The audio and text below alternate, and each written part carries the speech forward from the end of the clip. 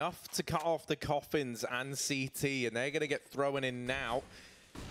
Golden having to do it all from the back of the site will shut down absolutely everybody. Oh. The Golden What? Boy up, Fnatic rises once again.